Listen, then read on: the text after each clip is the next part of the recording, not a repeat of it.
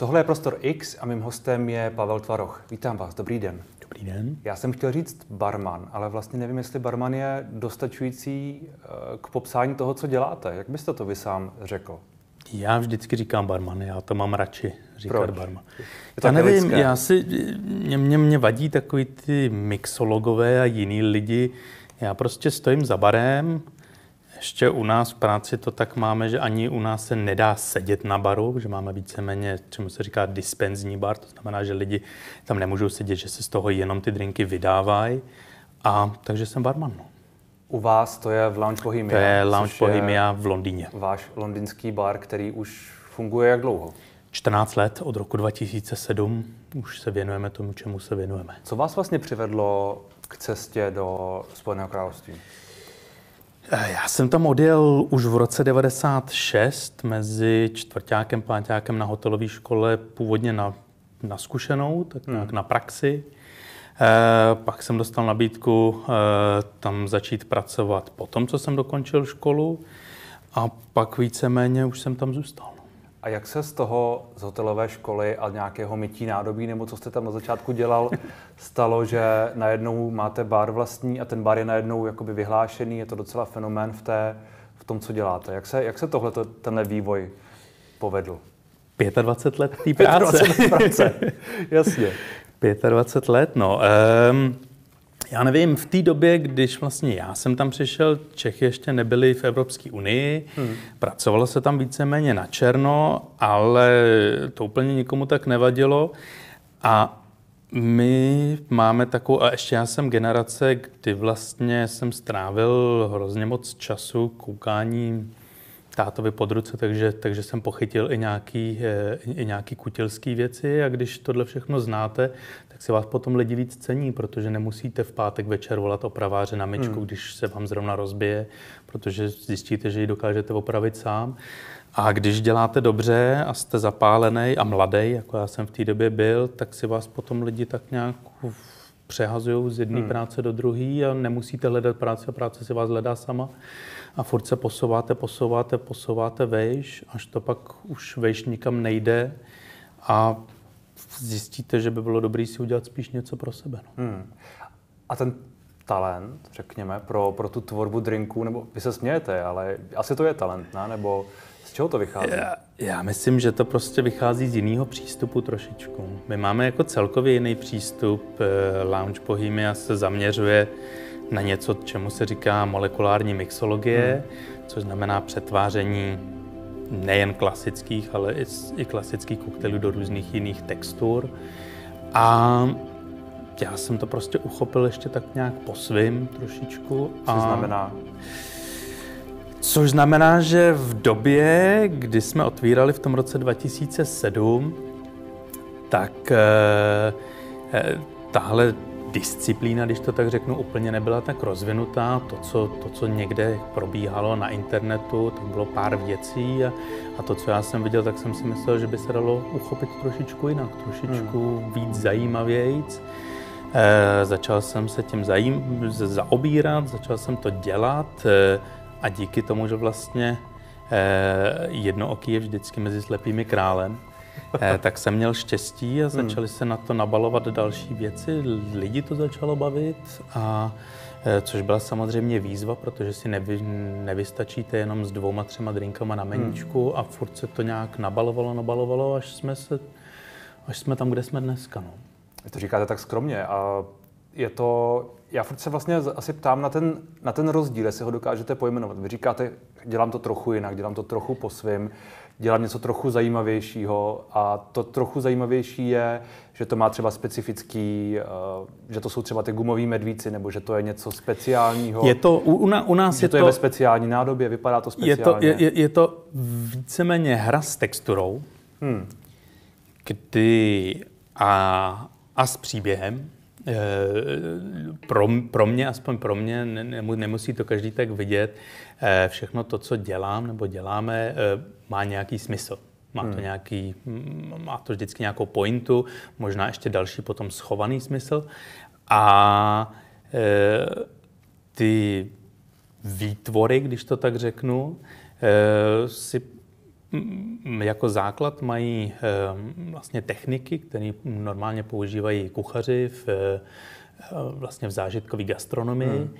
A my jsme se o to opíchli a víceméně děláme to sami, co oni, ale navíc používáme jako ingredienci alkohol. Hmm. Takže řekněme jedna třetina naší, našeho meníčka se nekonzumuje tím, že byste ji pili, ale, ale jí se a ta textura se potom přetváří, takže asi nejjednodušší je to předvést na piña colada, je klasický koktejl, eh, byl původně vytvořen v 50. letech v Portoriku. Eh, je to mix romu Coco Lopez, což je eh, krém z kokosových ořechů a ananasové šťávy. Hmm. A tohle zamícháte v blendru, naléte to do sklenice, tam dáte paraplíčko, červenou třešinku, kus ananasu podáváte to někde na pláži. U nás eh, my vám přineseme tu pláž. Na pláži bude eh, kulička, velká asi jako Ferrero Rocher. Hmm. A ta kulička je udělaná z eh, kokosu a vevnitř je vlastně ta piña colada uzavřená jako tekutina. Vy do té kuličky kousnete, to se vám celý rozpadne a máte plnou pusu piña colády.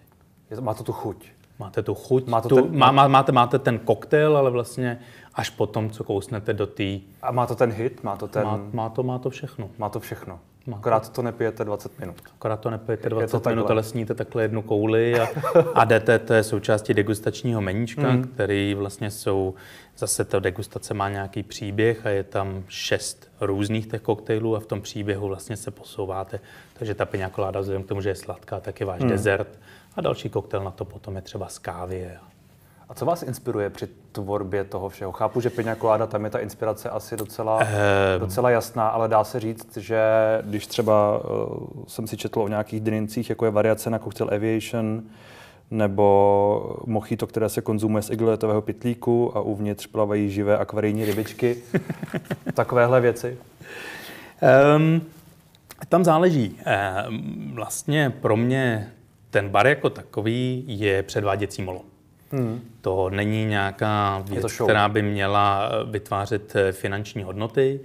A finanční hodnoty vytváří privátní akce pro různé klienty, a kde vlastně ty nápady se buď eh, odsouvají od tématu té party, takže pokud eh, mě osloví Eh, firma, která dělá parfém a potřebuje ten parfém prezentovat a chce ho v pititelné verzi, hmm. kdy já jim ten parfém udělám, naservirujem do stejné lahvičky, jako ho normálně prodávají, ale dá se pít a lidi ho pijou a ten parfém chutná stejně jako voní, tak eh, víceméně to máte jednoduchý, protože prostě se snažíte přiblížit co nejvíc tomuhle. Pokud pracujete pro firmu, která prodává diamanty a uděláte jim eh, koktejl, který vypadá jako diamant, ale bude chutnat vevnitř jako gin s tonikem a, bude perlit, tak je to odsunutý od tohohle. Pokud firma eh, dělá akci, kde hmm. celá ta akce vypadá jako Alenka v říši divů, tak se zase od eh, vlastně inspirujete Alenkou v říši divů a pak koktejl může vypadat tak, že je ve skleničce malá karta, na které je napsáno vypij mě, přelije se do toho Eh, další tekutina, ta karta zmizí před očima zákazníka, nebo eh, koktejl má průzračnou barvu, vhodí se do něj červené srdíčko a koktejl se celý obarví na červenou, protože červená královna v Alence říši divů hmm. chce po svých eh, vlastně podaných, aby barvili všechny její bílý růže na červenou, protože je to červená královna. Takže víceméně ta inspirace je buď to, co chce. To, co klient. chce klient, ale ne, že by nám vyloženě řekl, chci tohle, ale hmm. my mu dáváme Jaké samozřejmě téma? nějaké možnosti, nějaký téma. Nebo může inspirace být od toho, že najdeme květinu v Brazílii, která když do ní kousnete, tak chutná, jako když lížete 9 voltovou baterku a, a od toho se pak odvíjí celý koncept koktejlu, který voní jako energický nápoj a chutná jako energický nápoj. Tenhle koktejl máte, servírujete? Uh-huh. Se jmenuje Edison a servíruje se to v žárovce. A když eh, si ho dáte na jazyk, tak vám brní jazyk, jako když lížete 9 voltou baterku, když k tomu čichnete, tak to voní jako hmm. energický nápoj. Hmm. Jak se vám povede přiblížit chuť vůně? To mě vlastně docela zarazilo, protože to jsou přece dvě docela rozdílné věci. Dá se, dá se udělat e... chuť, která je jako vůně? Dá se chuť udělat jako vůně, víceméně to funguje na principu toho, že ta parfumerka nebo ten, kdo ten parfém dělá, vám řekne, co do toho šlo. Mm-hmm. E, a většinou některé ingredience nejsou jedlí, takže hmm. ty musíte nahradit nebo je nahrazovat něčím, co je tomu podobný a snažíte se prostě do toho dostat. No. Hmm. Je Británie víc otevřená experimentování, než je, než je Česko v tomhle tom, co děláte? Takhle, eh, ta otázka je spíš, eh, byl by ten koktejl bar někde jinde schopný udělat? Asi tak? Jestli, jestli ta Británie by, je, je lepší na to, to, co děláme. Um, Británie má tu výhodu, nebo, nebo donedávna měla, eh, že je takovou mekou koktejlu. Hmm. A samozřejmě je to, Londýn je desetimilionový město a plus se tam otočí x milionů lidí jako turistů za rok.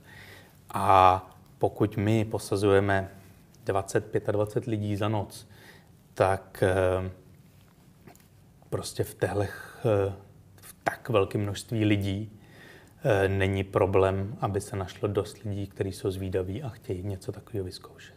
A jsou ochotní za to zaplatit. A jsou schopní za to zaplatit. No, ale jako takhle, jako pokud, pokud se bavíme o, o cenách, tak my nejsme nějak jako příliš předražený. No vy jste řekl, že, jestli jsem to správně pochopil vaše slova, ten bar asi není to, co vydělává. Určitě To, ne. co vydělává, je to všechno okolo pro ty klienty a soukromé věci. Ale a na tak. tenhle ten stelným principu funguje třeba spousta myšlenských restaurací, kde ty hmm. restaurace se nemůžou uživit, protože jejich náklady vstupní jsou tak velký, že to nedají. Jedna z nejlepších restaurací na světě, která už je dneska zavřená, El Bulli, tak ty měli roční schodek asi půl milionu euro. Hmm. Já, když Jenom si na provoze. Já když jsem si četl vaše, eh, řekněme, patálie kolem toho baru, který jste měl otevřený tady v Praze a, a tak podobně, nebo to nejsou patálie, něco je, je to pozitivní, ale, ale vy, jste, vy jste říkal, já totiž nejsem business, businessman, bavil mě ten projekt jako takový, i když komerčně představoval naprostý nesmysl. A ještě ode dne číslo jedna měl ten bar velmi jednoduchý ekonomický koncept. Čím déle byl otevřený, tím více nás stal peněz. Od začátku spěl do záhuby, což si říkám, že jako přistupu, je, to, je to na jednu stranu hezké přistupovat s tímhle k, k biznesu, ale nevím, jak dlouho vlastně může člověk takhle fungovat. Právě proto ten projekt takhle byl. Ten, ten, ten, ten hmm. projekt vzešel z toho, že my jsme otvírali úplně jiný projekt v Londýně, který nevyšel, ale nevyšel víceméně na konci, nevyšel od, dejme tomu, o tři dny, kdy jsme hmm. měli dostat klíče k prostoru, který víceméně byl na klíč postavený. Ale do, v té době už jsme měli nakoupený veškerý zařízení dovnitř, servisy a, a to by tak nějak leželo ladem. A objevil se ten prostor v Praze a v té samé době já jsem udělal právě eh, akci pro jednoho klienta, který eh, oni, oni prodávají diamanty a e, takže jsem vlastně z toho honoráře si řekl, že by bylo dobré vlastně ty peníze, které jsme úplně nepočítali, je vložit do nějakého takového jako projektu a, a vyšlo to. No. A bylo to taková jako sranda. Ten, ten projekt tady měl být původně půl roku, pak roka ve finále to bylo dva a půl roku, protože e, jsem ještě do toho dělal další projekt, který taky ne, jako já dělám spousta věcí, které úplně hmm. nemají smysl, jako knihu o 40 výtiskách udělanou na offsetu. Hmm. To jako nemá smysl, ale, ale je to hezký. Je to hezký, ale nejde vám o zisk, nejde vám o... Já nevím. Nebo, tak... nebo rozumíte, člověk si asi chce nějak jako zaopatřit, řekněme, nebo chce ty, chce ty statky. Jaký? Ne? Jaký já nevím, statky? já se ptám vlastně vám, jestli vám na tom záleží, nebo jestli prostě chcete ten proces a to je pro vás Já nevím, pro mě, pro mě je důležitý, abych, eh, aby byli zaplacený lidi, co u mě pracují, aby byli zaplacený moji dodavatelé, abych měl zaplacený hmm. nájem, ale jako helikopterou nepotřebuji lítat, no. Jako, nebo čím máte větší dům, tak tím díl vám ho bude trvat asi uklízet. Hmm. Jako rád se obklopu hezkýma věcma, ale zase na druhou stranu v dnešní době lidi chtějí všechno hned a, a pak se nemáte na co těšit. Hmm. Uh, vy sám nepijete alkohol? Nepiju, no. Uh, není to zvláštní pro barmana, který... Je to zvláštní, ale já jsem přestal pít až po tom, co jsem se rozhodl, že budu barmanem, nebo respektive po tom, co jsem vlastně nastoupil tu hotelovou školu. A to nepití přišlo až, až, až posléze, takže... A proč to... přišlo? Eh, přišlo ze zdravotních důvodů. Nemůžete přišlo, pít? Eh, neměl bych pít. Hmm. Není, není, že nemůžu, neměl bych pít a nedělá mi to dobře. No. Takže, a není to, není to indispozice? Není to indispozice. Není, vlastně... není to indispozice. Víte, víte, se, víte, víte jak to, to co víte, se víte, chutná? Eh, na jednu stranu já si myslím, že je to i výhoda, protože já spíš de facto všechny ty věci, které dělám, tak je dělám spíš jako koncept, že to hmm. mám nějak v hlavě a to úplně nedokážu vysvětlit, ne, že bych nechtěl, ale nedá se to vysvětlit. A eh, když se na to podíváte úplně z jiné strany, eh, barmani, spousta barmanů se snaží neustále ladit koktejly, aby to bylo vybalancované. Co to znamená, aby to bylo vybalancované? Aby to by bylo vybalancované, když to řeknu, když vy budete barman, tak aby vám to chutnalo. Hmm. Ale ten člověk, který přijde naproti vám, tak vy nevíte, jestli se před chvílí přišel z čínské restaurace, kde snědl dvě tuční kachny, anebo jestli se rozešel se svojí přítelkyní a má hořko v ústech. Jo, jako k čemu to balancujete? K sobě. Hmm. Ale co člověk, to jiná chuť. Takže víceméně my se buď snažíme zaujmout a zajmout nějakou chutí. To je asi tak, jako když přijdete do hodně zvláštní restaurace, kde vám budou podávat eh, hodně zvláštní jídla. A nebo když půjdete na hotovku eh, do pěti různých hospod, tak řeknete, jo, tamhle ten guláš mi chutnal, tamhle ho neměli tak dobrý, byl něco, něco, něco. Hmm. A pokud půjdete do té zážitkové restaurace a budou vám tam podávat e, netopíří křídla a nosorožcí pahejly, tak úplně nejste schopni říct, jestli to bylo dobrý nebo špatný. Můžete říct, že vám to nechutnalo, ale určitě ne, jestli to bylo dobrý nebo hmm. špatný, hmm. protože nevíte, jak netopír nebo nosorožec chutná, nemáte to k čemu porovnat. A to víceméně děláme my, takže... A ten koncept, který jste zmínil, že ho nedokážete popsat, je koncept přístupu koncept, k práci? Koncept toho nebo... přístupu práci, já vám neřeknu, proč něco namíchám v poměru 1, 1, hmm. 1 a něco v poměru 1, 3, 5 třeba, hmm. ale já to tak cítím, tak to vidím, že to tak bude a pokud máte, a samozřejmě pak to zkoušíte na lidech, eh, jednak na eh, svých zaměstnancích a později potom na dobrých zákaznících, kteří, eh, kterým nebude vadit, že se na nich něco vyzkouší, že se jim řekne, pracujeme na tomhle koktejlu, vyzkoušejte to. A když to vyzkouší a řeknou, jo, je to, je to fajn, tak je to hmm. fajn. Ale to neznamená, my jsme měli jeden čas koktejl na meníčku, který třeba nechutnal 90% lidem, ale 10% lidem chutnal. Stejně tak, jako když jsme se bavili o tom elektrickém koktejlu, to není věc, která by vám chutnala, že byste si dal čtyři za sebou řekl jste, to je výtečný. Ne, to je zážitková věc, kde vás ohromí spíš ten koncept toho, že to voní jako energický drink, chutná jako elektrika a, a brní vás to jazyk, ale, ale není to nic příjemného. A ten 90%... Uh, eh, to byla věc, kde zase to No, údajně to chutnalo jako, eh, jak, jak, jako nedělní, nedělní roast, jak, jak, jako jehněčí rostovaný Aha. s rozmarínem. Ale měl jsem jednoho klienta, který si to vložně vyžadoval, i když jsme to potom stáhli z meníčka a chodil tam na to. Takže říkám, eh, co člověk, to jiná chuť a to jiný zážitek. A ono to zní, eh, stalo se vám někdy, že to lidi odmítali, ten od začátku, od roku 2007 nebo od té doby, co to hmm. děláte, Uh, chápou lidé, co, co, co děláte? Jsou, jsou otevření tomu? Nebo jste se setkávali s tím, ne, všichni, že prostě přišli? Ne, ne, ne, a... se, samozřejmě, jako dneska už je to rozhodně jednodušší. Tam na začátku, když jsme otevřeli, tak lidi nejenom, že by odmítali koncept vůbec těch drinků, ale odmítali koncept celého toho baru. Ten bar se jmenuje Lounge, protože tam lidi chodí jako do obýváku, musí si předem rezervovat svoje místo, protože se tam nedá nikde stát, lidi musí sedět. A už to v té době bylo něco, co bylo nadchápání spousta lidí, že si musí objednat stůl do baru. To, jako, to, to bylo velmi, velmi nezvyklý. Hmm. Dneska eh, je po covidu už je to úplně něco jiného. Dneska, dneska vás nikdo skoro nikde nebeme bez rezervace. Ale eh, a potom to, co děláme, jako když, když se bavím o tom produktu, eh, tak samozřejmě i dneska eh, tam přijde procento lidí, kteří řeknou, to, je, to mě nebaví, nebo nemáte, nemáte něco normálního. pod s rumem? Ne, nemáme, nebo, nebo máme, ale od toho tady nejsme. Hmm. To je asi tak jako, když půjdete tady dole do Ladegu a řeknete, že chcete, já nevím, svíčkovou. Tak, Třeba by udělali. A asi by ji udělali, ale asi taky ne, no. nebo, nebo nejs, hmm. nejsou od toho. Nevím, je to, je to, je to pod, pro mě je to o zážitku a, a ten my nabízíme. Hmm. A... No, má, má ten zážitek nějaké jakoby hranice? Je něco, co, co vás třeba napadlo, řekli jste si, tohle už je, tohle už je moc?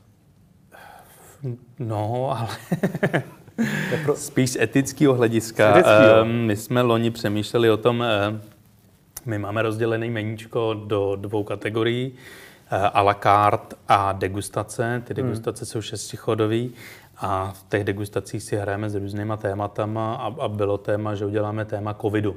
Hmm. A pak jsme to nějak skrečovali, že by to... Jako, že by to chutnalo jako... Ne, ne, ne, ne, vůbec ne, že by to bylo jako, jako... Ne, vůbec ne, mělo to být spíš eh, sranda. První koktel měl být miniaturní láhev korony, což je korona pivo a v tom hmm. nějaká věc a, a, a něco s rouškou, že by tam lidi inhalovali. Nevím, říkám, skrečovali jsme to potom, protože bohužel eh, covid přestal být sranda po tom, co začalo umírat moc lidí hmm. a mysleli jsme, že, že by to úplně nebylo etický vůbec i vůči jako zákazníkům. Pokud vám přijde někdo, kdo ztratil svého blízkého a vy mu řeknete, máme tady covidový meníčko, pojďte, no, tak to úplně jako by nebylo dobré. Hmm. A vy sám jste se s tou epidemí, nebo váš bar, jste se s tou epidemí vyrovnali jak? Protože jste asi ne, předpokládám, že jste asi neposílali domů lidem v krabičkách koktejly? To, to neumíme. My jsme si s tím vypořádali tak, že jsme zavřeli, eh, vyčistili eh, a, a, a vyndali všechno, co, co jsme nepotřebovali. A spíš jsme se věnovali jiným projektům. Udělala se webová stránka, udělal se trošku Instagram a udělali jsme Lounge Bohemia Spirit, Spirit Lounge Bohemia, což byl takový projekt loňského roku, Eh, kdy jsme si udělali vlastní spirit, který je udělaný z eh, takový eh, jeho americký kitky. Vlastní nápoj? Spirit jako destilát je to. Mm. Takže to byl takový projekt. Takže jste to spíš který, jako využili na nějaké vy, věci okolo... Využili jsme to na to, že jsme... Že Ale nebylo jsme... to tak, že by vám třeba šlo o, o, o živnost kvůli tomu nebo, nebo podobně? O živnost nám šlo, nešlo bohužel prostě, prostě jsme se s tím vypořádali, takže veškeré peníze, které jsme náhodou kde někde měli, hmm. tak jsme vrazili do toho, aby jsme si udrželi e, zaměstnance a aby jsme hmm. poplatili nájem a čekali jsme na to a modlili se, že nám nedojdou a musíme zaklepat dřevo, nemáte, naštěstí nedošli. Když tak můžete, když tak můžete sem zaklepat. Krásně. Výborně. A já jsem mimo jiné viděl, že to, to, z čeho servírujete ty všechny věci vlastně musí být asi nějakou součástí toho, že jo? To je součást toho příběhu. Snažíme se. Sklo, igeliťák v té jedné, té, nebo nějaká kapsička, takové všechny různé věci. Uh, je něco, já jsem viděl, že máte i takové jako speciální sklo, hmm. ze kterého servírujete. Je tohle, je tohle pro vás jako úplný základ toho, jak třeba i přemýšlíte o těch nápojích? Občas. Obč, občas, občas ten koktejl vyleze z toho, že vidíme něco a řekneme hmm. si, to by, to, to, to by šlo použít a a ten koktel se na to napasuje, anebo občas vymyslíme koktel a pak sáhodlouze hledáme, aby jsme to měli do čeho dát. Hmm. Jo, že třeba byl koktel, který jsme vymysleli 2010, mám takový pocit, 20, 2011 a na meníčko šel až 2014, až jsme našli tu správnou hmm. věc, která vlastně to podpoří. Protože eh, ten, ten servis je součástí toho a pokud ten servis nevypadá tak, jak si představu, nebo aby to evokovalo to, co to má, tak, tak, tak se to dál nepustí. No. Mimochodem, uh, u vás se lidé opíjí, opíjejí? Je to, je to vůbec takhle nějak jako... Uh, je to, nevím, jestli to, nevím, jestli se ptat, jestli je na tom postavené, ale jestli to vůbec... Uh, snažíme se, aby ne. Snažíte se, aby ne. Uh, a to v rámci toho, aby si pamatovali ten zážitek. Aha. Uh, ale samozřejmě servírujeme alkohol, takže pokud to někdo přežene, tak se může i opít. No. Jasně, mě spíš, jako... mě spíš protože ty věci přece jenom jsou takové jako, uh, asi, asi není úplně jednoduché odhadnout, kolik člověk v sobě má, nebo kolik skonzumoval, jak rychle to vstřeba a tak podobně. To je asi, asi trošku individuální, nebo ne? Je, ale jak jsem řekl, to meníčko je vlastně dělený na dvě, na, na, na dvě části. Hmm. Ty, to à la carte, kde jsou jednotlivý koktejly, tak tam přesně víme, kolik do hmm. toho jde. A v těch degustacích se to počítá, že každá ta degustace, která trvá přibližně hodinu vyservírovat, a je to šest chodů, hmm. tak má plus minus uh, dva džiny s tonikem. Jako není to nic, co což, by, není... co, což by člověk měl jít pod stůl, hmm. ale na druhou stranu je to cítit. Hmm. Jak se vy sám díváte, když nepijete, uh, na ty lidi, kteří se opíjí u vás a podobně, nebo jinde? Jak, jak vlastně máte, máte k tomu sám toleranci, k tomu chování a k tomu, k tomu všemu, co je s tím Eh, spojené? Anglie je známá tím, že vlastně podle mě tam lidi neumí úplně pít. nebo, nebo takhle, eh, lidi tam neumí si užívat ten alkohol. Mně přijde hmm. třeba Evropa jako hodně víc v tomhle vyspělejší, když to tak řeknu. Mně přijde, že všichni angličani a hlavně podle mě tady to lidi vidí, když sem přijedou na nějaký ty stagdu a jiné věci Mhm. a, a oni ve chvíli, kdy přijdou na letiště, tak mi přijde, že do sebe musí prostě hodit pět piv a chovají se hned úplně jinak. Ale to sami vlastně se tak chovají v pátek, v sobotu večer potom na ulicích. E, vadí mi to, ale na druhou stranu jsme na to přizpůsobení, takže tohle se u nás neděje. Ale obecně. Ale obecně se to děje a s tím bohužel nic já dělat nemůžu. Ale říkám, obecně vám to vadí tedy. Ale obecně mi to vadí, ale, ale z jiného důvodu, jako, eh, jako by mi vadilo cokoliv. Mě, mě, mě, mě jako vadí, když lidi se nedokážou kontrolovat a dělají nesmysly v, ve jménu alkoholu. Hmm. Nehledě, jenom kdybych byl sobecký, tak, tak už jenom proto, že když nás potom hodí do téhle kategorie, hmm. eh, tak když nemusíme chodit daleko eh, v, na podzim loňského roku díky covidu, eh, všechny eh, instituce, které prodávaly alkohol, museli podávat k alkoholu něco k snědku. A bylo to proto, aby lidi se neopíjeli a aby se korona nešířila dál. A my jsme do této kategorie vlastně spadli díky tomu, že prodáváme alkohol, aniž by se u nás někdo opíjel, nebo jsme měli hmm. takovýhle problém. Takže kdybych to bral jako ze svý vlastně nějaký sobeckosti, tak, tak jsme díky tomuhle tam do toho spadli. Mimochodem ten uh, váš outfit, vy nosíte podobné, podobné če, čepice, nebo jak, jak to říct? OK. Ano, ano, ano. Je to, mě to trochu připomíná, jako kdyby to byl nějaký alchymistický takový jako uh, alchymistický outfit. Je to, je to schválně, nebo... Já nevím, já jsem oblíkám do jednoho konkrétního eh, designéra a ten, ten zrovna takové věci dělá, mně se to líbí. Ne, ne není to, že Jestli tohoto tím... kouzelnictví a takový to tajemnost s tím spojený třeba, jako je, je, není váš jako zá, záměr. Ne, jako tak já se oblíkám tak, jak se mi to, To líbí. to, to, to, že, ale ne, to vůbec ne. Já mám jednu kamarádku, ta se mě ptala jednou, tak jako na mě koukala a říká, hele, a co ty jako nosíš v civilu? Takže tak, no. Já si myslím, eh, když úplně to vemu jinak, tak lidi si líp pamatujou. Te- Teď, teď, teď mi zase jiná známá říkala, eh, že někde psala něco a napsal jí známý, jo, jo, toho známe, to je ten hipsterský Gandalf. Hipsterský Gandalf. Tak asi, no. A tak to vás asi neuráží, ne? Mě neuráží nic, já se, já se, já se neurážím. Víc, více mě, proč bych se měl urazit? Co plánujete dál potom? Jak to myslíte? Předpokládám, že Eh, bude dál, dál otevřený Lounge Bohemia, dál. Eh, Máte co- nějaký plány dopředu, další bary, další Eh, akce? Akce, Nové drinky. ak, ak, akce, akce, akce v, jsou tak nějak vždycky něco přijde. Hmm. To není jako něco, co by se nějak plánovalo hodně dopředu. Eh, Já úplně neplánuju dál. Eh, Hodně, hodně, hodně jako vzdálená budoucnost hmm. je se jednou zmenšit. Oni všechny, všechny eh, firmy expandují a snaží se zvětšovat. A můj sen by byl se zmenšit. Co to znamená? To znamená eh, bar pro 8 lidí, kde moto toho baru je, že jeden je individualista, dva jsou pár, tři jsou trojka a čtyři je grupa a my nebereme eh, eh, grupové eh, eh, objednávky, tím pádem tam se nejvíc můžou lidi chodit ve třech. Aha. Tak to je taková jako vize.